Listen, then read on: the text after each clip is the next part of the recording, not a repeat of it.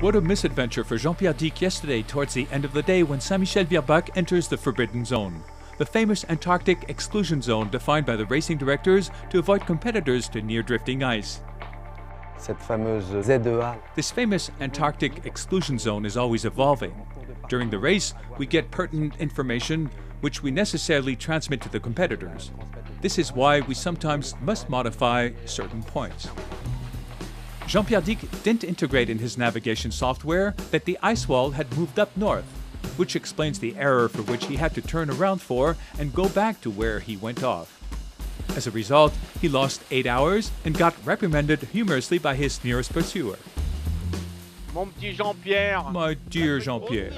He did something silly, didn't he? My little Jean-Pierre. And of course, it couldn't go unnoticed because that's a real hefty one. Congrats, my dear Jean-Pierre, because there isn't much for us to laugh about. Except my buddy boy. Thank you for the great laugh. This one's gonna stay in the track record. That's heavy. Come on, Jean-Pierre. Good luck and catch you later. Bye, you all.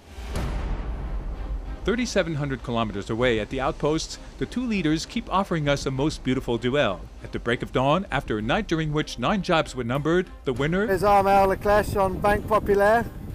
He's uh, slowly catching up me overnight. So he's obviously come with a bit, bit better breeze, but uh, I'll be back on starboard in, uh, in less than a day, so we look forward to that. In the meantime, I'm going to push hard as I can and try and uh, stay in touch with this guy.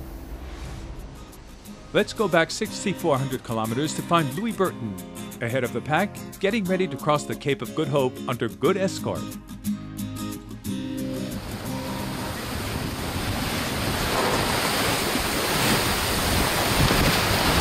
Une baleine Wow, a whale! 100 meters away from the boat. A whale! A whale! No joke. Gives me the shivers. I swear I'm shivering. What a Vendée Globe!